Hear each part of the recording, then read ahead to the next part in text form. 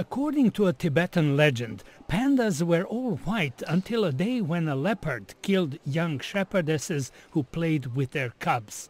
Following a local custom, saddened pandas smeared their arms with black ashes. Wiping their weeping eyes and covering their ears to block the sound of crying, they also blackened the fur in those and other areas.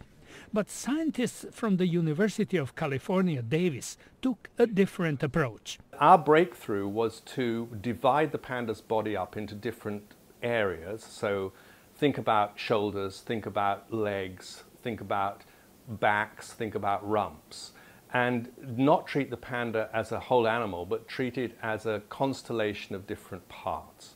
Since pandas are not predators, two main factors influence their color, the need to blend with the environment and their diet of bamboo shoots. So it's moving then between two different habitats in western China, the high altitude snowy areas and at other times of the year the subtropical uh, forests lower down. So it's moving between habitats, and the way that it's had to deal with that in terms of trying to remain camouflaged is it's come up with two solutions. Scientists also say black rings around pandas' eyes and black ears may have to do with communication with other pandas and scaring off potential predators.